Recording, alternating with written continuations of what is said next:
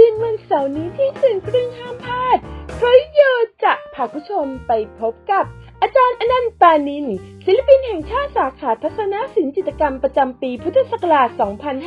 2562 กับเรื่องราวสุดเอ็กซ์คลูซีฟอาจารย์ฝรั่งเป็นไงบ้างคะโอ้โหดังเห็อาจารย์ศิก็เรียกผมไป บอกว่านายจะไปฝรั่งเศสไหมผมบอกว่าผมไปพบกันได้ในรายการ Guest Star Art Show